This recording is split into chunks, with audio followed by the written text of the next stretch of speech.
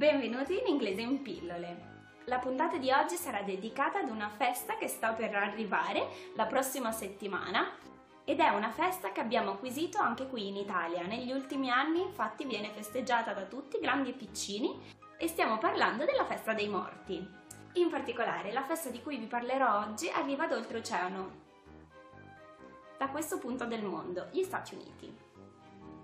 La festa quindi in questione è Visto che abbiamo deciso di adottare questa festa quasi come fosse una festa nazionale, impariamo anche a pronunciare la parola in maniera corretta.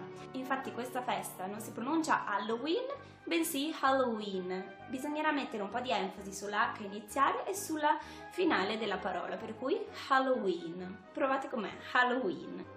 Oggi impareremo insieme a pronunciare altre parole che potrebbero esservi utili durante questa festa. Come ben sapete tutti quanti si travestono quindi di qualcosa di pauroso, per cui vediamo insieme come pronunciare il nome degli abiti che potete indossare durante questa festa. Il primo nome è Ghost, non è Ghost ma è Ghost. La seconda maschera che potrete indossare durante questa festa è Monster, per cui il mostro, Monster. Un'altra maschera molto utilizzata è quella della mummia, per cui mummy, mummy, mummy. Tra i più comuni ovviamente ci sono streghe, stregoni, vampiri e scheletri, per cui vediamo un po' come si dicono queste parole in inglese e come si pronunciano correttamente. Allora iniziamo dalle streghe e dagli stregoni, quindi streghe witch per le ragazze e stregoni wizard per i ragazzi.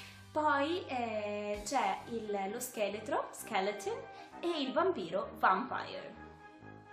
Non dimentichiamoci una delle cose più importanti che è ovviamente la zucca, che si pronuncia pumpkin. Se poi decidete di portare i vostri bambini a un parco, magari a tema, a tema di Halloween, allora troverete sicuramente la casa infestata piena di creature della notte, per cui potrete incontrare la civetta, che si pronuncia owl, owl, il eh, pipistrello, bat, e la casa infestata dai fantasmi, haunted house. Quindi per finire la puntata di oggi, enjoy your Halloween night and trick or treats! Ciao, alla prossima!